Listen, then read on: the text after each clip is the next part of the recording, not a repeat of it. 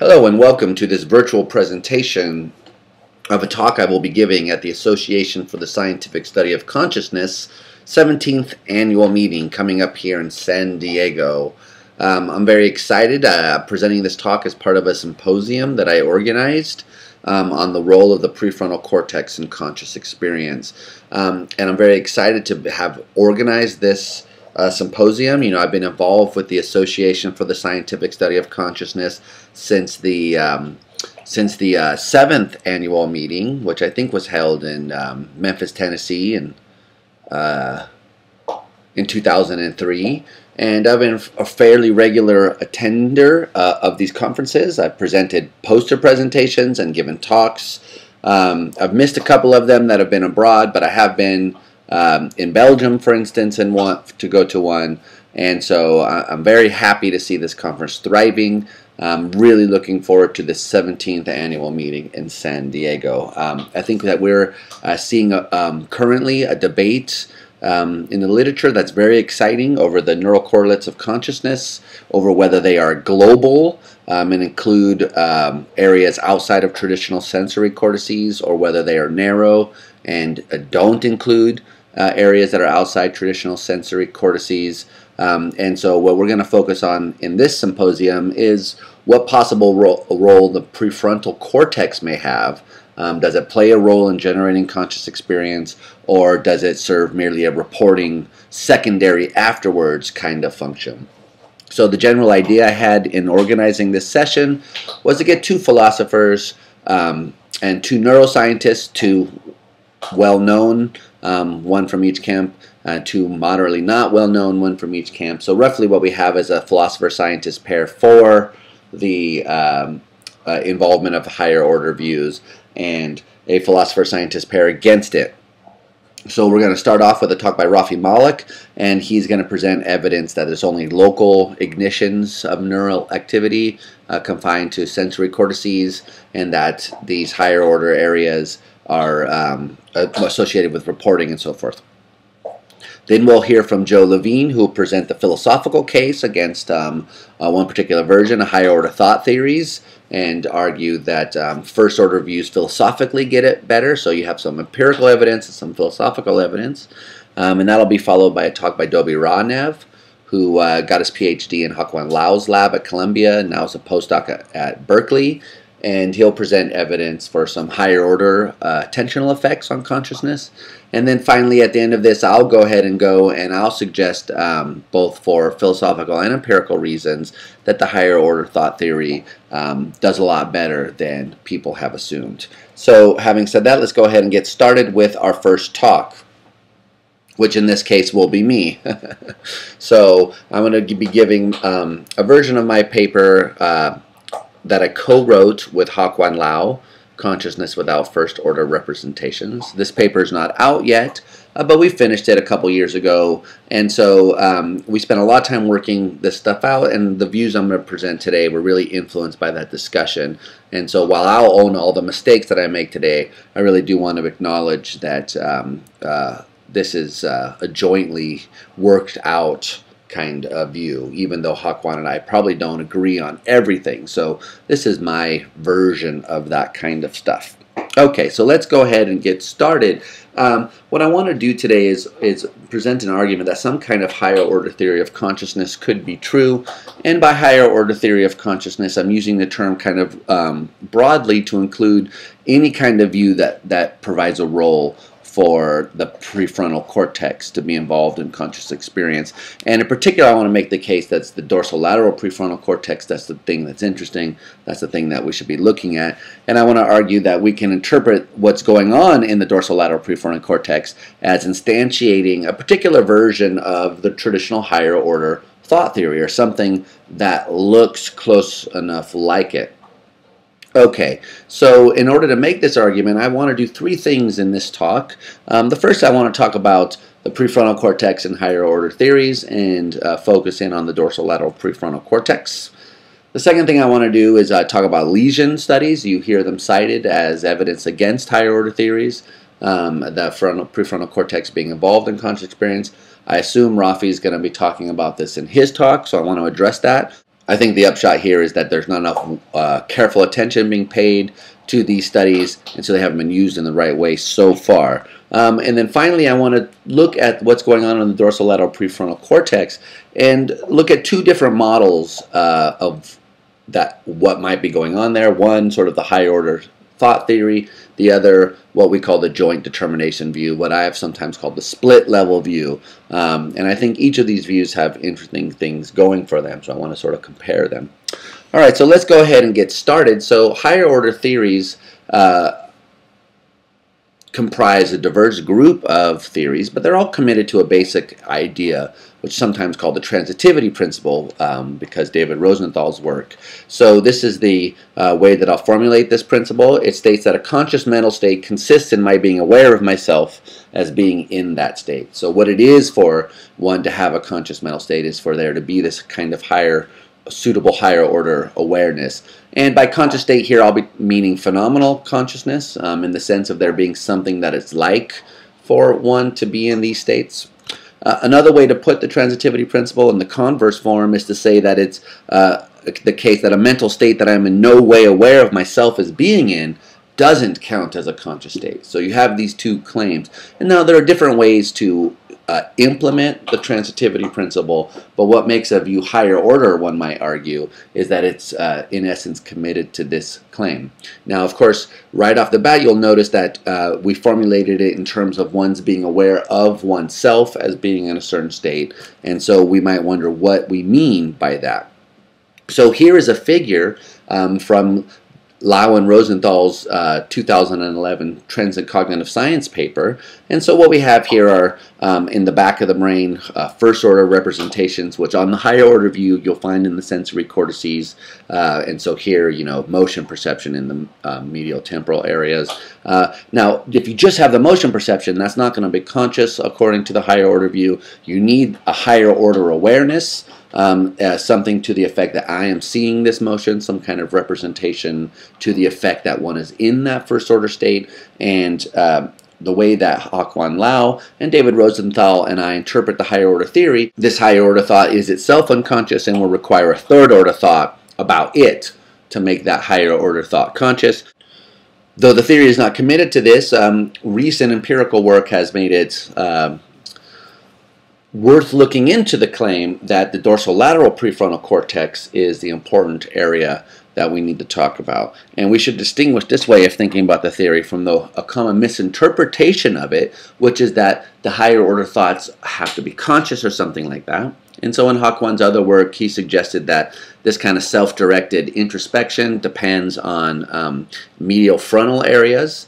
And so you might think, ah, well, if you have deactivation in the prefrontal cortex, that's bad for the higher order thought theory, but it's not the case um, since you need to differentiate different areas in the prefrontal cortex, uh, and it would only be um, activity in the dorsolateral prefrontal cortex that's something that we're interested in and that's because we don't think of these things as consciously self-directed introspective thoughts um, which is what you would get if it were these other areas of the prefrontal cortex. So we want to be clear that this isn't the way we interpret the view, and so a lot of the um, uh, and so some of the evidence that is presented, like the Goldberg et al., which you know comes from Rafi's lab, um, where people are uh, really involved in intensely involved in watching a video or something like that. They don't have these kind of activation in the medial frontal areas. That would not be an objection the kind of higher order view that we're interested in, which takes the dorsolateral prefrontal cortex as the important area.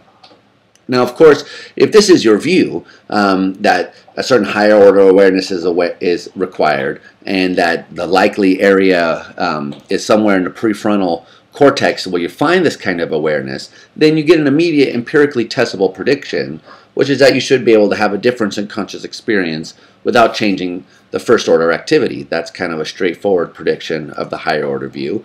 And what Hak-Wan and I have argued and what David and Hak-Wan have argued as well is that you can see the kind of results that come out of his lab as confirming this prediction. So take the Rahnev results, what Dobie was what we'll be talking about.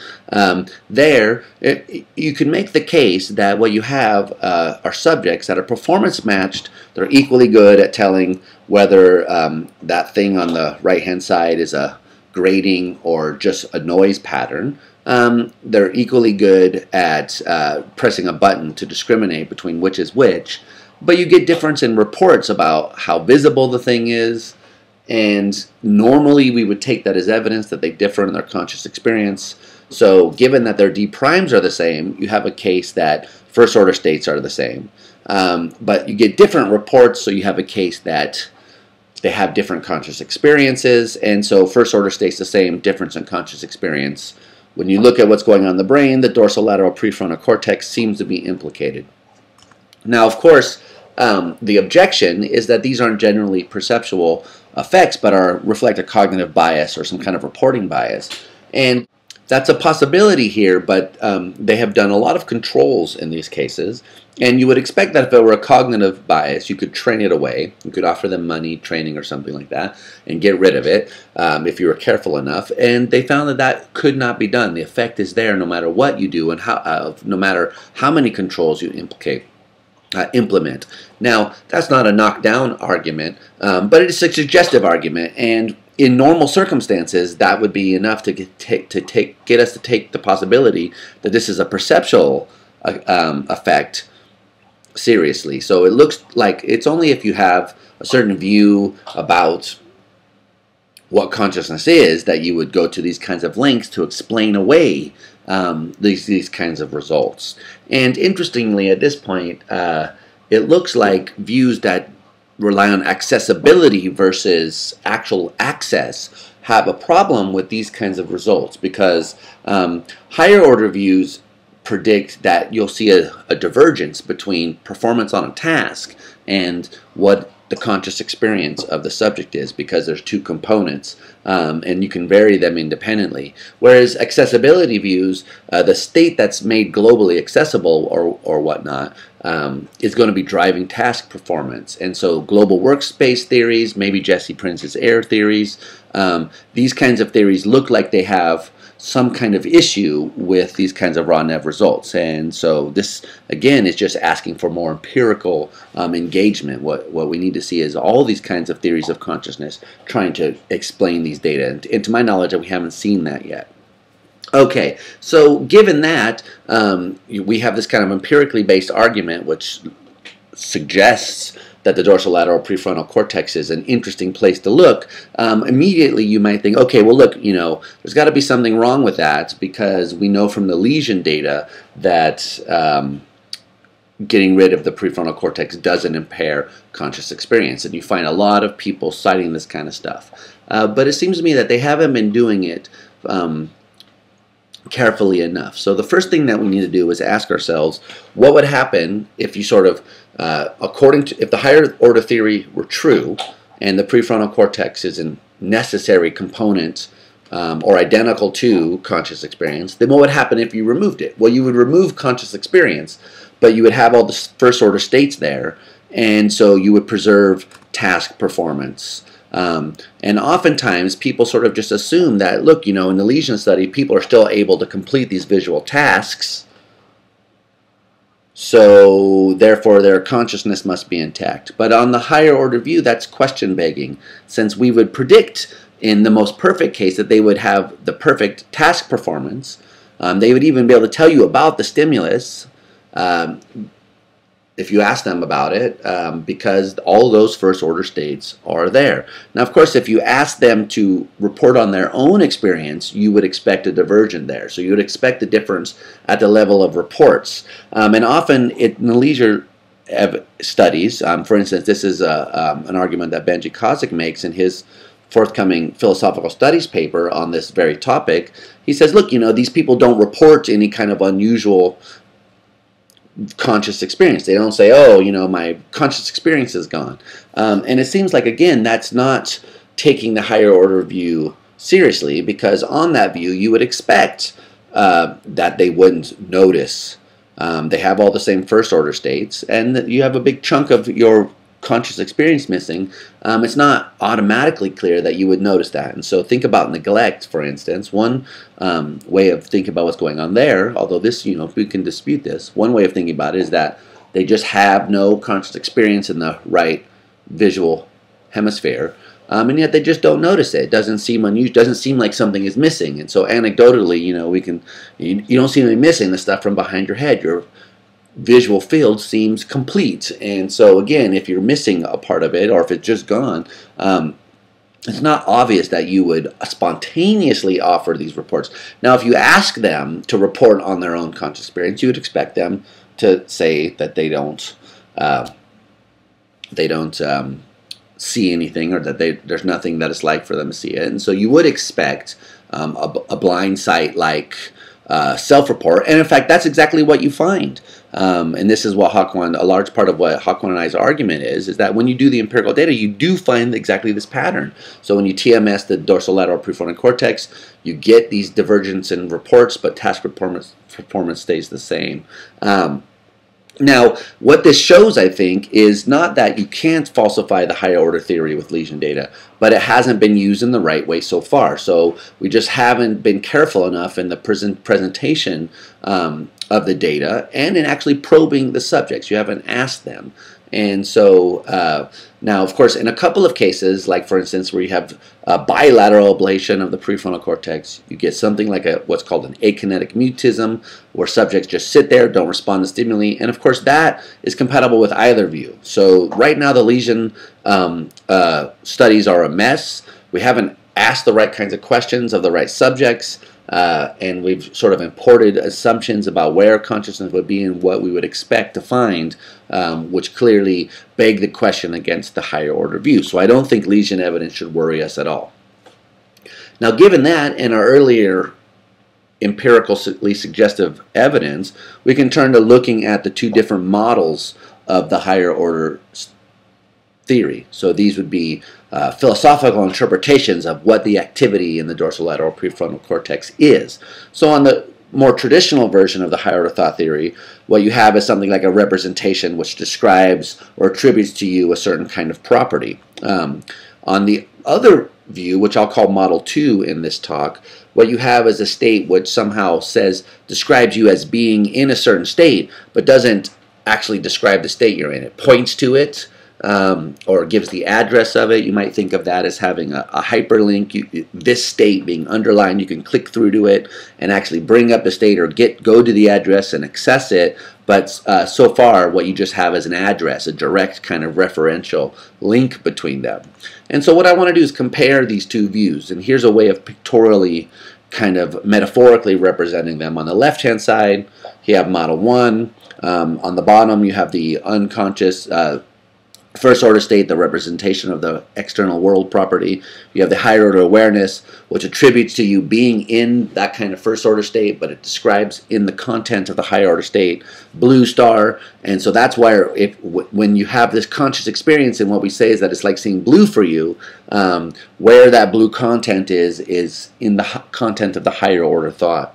Now on Model 2, that's not the case. Um, you say, I am in this state, you point to the state, but the blue content, the thing which provides or makes it the case that it's like blue for you, is not some content in the higher order state, it's the first order state itself.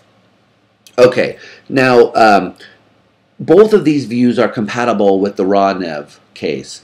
And so um, you might say, well, what happens when the first order states are not there?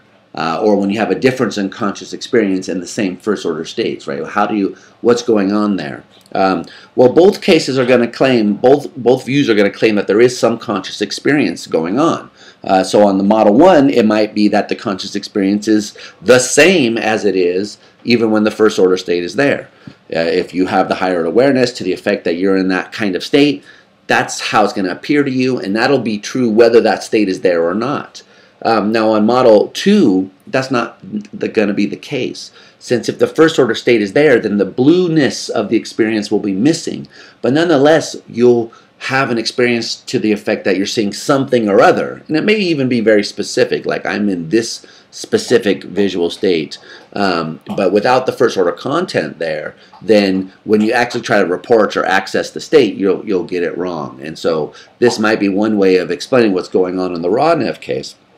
And it should be pointed out that the Model 1 is capable of this same kind of explanation. So it could be the case that you represent yourself as being in that particular state, or you could just have this kind of representation. I am in some visual state or other, or I am seeing this some specific shade of blue, uh, but without actually describing it, then you would get the same then you would get the same phenomenology on both Model 1 and Model 2. Okay, so now what about coming from the other end, so to speak? Uh, what do the two views say about the first order state? Um, well, in the absence of the higher order awareness, both models claim that there's nothing that it's like for you to have these first order properties. Um, they just represent physical properties outside of you, maybe reflect, reflectance, surface reflectances, profiles, or something like that. And that it's only when the higher order awareness comes that you get the conscious experience. Now, this, uh, I think, is where Model 1 fares better over Model 2 because Model 1, if you ask the question, how do you explain that it's like seeing blue for you? The answer is that, well, that's the content of the higher order state. You describe your own mental life as having that property, and that explains why it appears to you as though you're seeing blue as opposed to red. Um, and so this avoids Joe's worry, one of the worries he's going to talk about in his talk, to the effect that um, phenomenal characters seems to be the kind of thing essentially which, when you have it, it's conscious. Uh, and on Model 1, you capture that intuition. Um, when the higher order state occurs, that's what consciousness is on this model. And that's always going to be phenomenally like the way the state uh, describes itself as being. Now on Model 2, it doesn't seem like you get that kind of explanation. Um, why is it that when you point at the state, it's like seeing blue as opposed to red? Uh, why isn't it the case that when the state's not there, there's nothing? I mean, how does this work? How does this relationship of pointing or naming um, account for the blueness of my experience or the fact that uh, there is something that it's like for me. And how do you explain how this thing, which has it at one moment and does it at the next, the, the first order state, how do you explain how that thing um, can exist without it having this phenomenal character? So I think you get all of those problems there. Now, of course, some may hold this as a empirical problem, and you might just say, look, you know, um, explanatory power is one thing, and Model 1 perhaps has more explanatory power, uh, but Model 2 may turn out to fit the data. One reason you may think that is you may think, look, does the dorsolateral prefrontal cortex really have enough computational power to represent all of the different kinds of things which can occur in my conscious experience? Um, just take colors alone. Some people estimate we see a million colors. Um, so we have a million different color concepts, um, and that's just for one modality, uh, sense, uh, one sense modality, vision, not to mention audition or olfaction. So some people may think it's just empirically implausible that you could have that kind of computational power in such a small area of the brain. And so this may be some reason to support Model 2 because if the content is given by the visual cortex, then there's a lot more possibilities there. Now, of course, this is where this debate brushes up against the phenomenological overflow debate, um, which is a debate about whether consciousness is sparse or extremely detailed. And so Model 2 tries to uh, the intuition that the phenomenological overflow people have that consciousness can be very detailed in this way, um, but in an empirically plausible way. But uh, Model 1 has an answer to this, which is to back to claim that consciousness is sparse and back off the claim that it's as detailed as it seems to us, since if, for instance, what's going on there is you have these uh, relational representations um, rather than saying I'm in this particular blue star state, you may describe the state in terms of its similarities and differences to other states. Um, I'm in a state that's more like blue than orange, and so maybe a very limited set of uh, primitive color concepts could account for all the kinds of conscious experiences we have, um, employing them in this relational kind of way. So uh, at this point, the issue boils down to a, a, purely empirical one. And to, to decide between these two views, I think it's not enough to do this kind of which one can explain this, because you may just think, look, there's no explanation. Um, and so at that point, it's more empirical work. And so I'm happy to say that this is uh, something which we'll be looking for data on in the future. Okay, so then concluding all of this, I think that um, the dorsolateral prefrontal cortex is a viable candidate for the home of consciousness. Uh, we have some empirical evidence which points it to being important. We have some philosophical reasoning which seems to suggest that um, it's uh, a good candidate and it hasn't been falsified by any kind of um, empirical evidence. Now, that, I'm not saying that it's true. I'm saying that there's a kind of case to be made for, for it being true and that it's a reasonable hypothesis for someone to investigate given the evidence that we currently have. Um, and further, I think that given that, uh, it's an empirical case question which of these two models is going to turn out to accurately capture what's going on in the dorsolateral prefrontal cortex. And so um, I think these are extremely interesting times that we live in because we're honing in on really empirically tractable questions which have important philosophical significance. Thank you very much.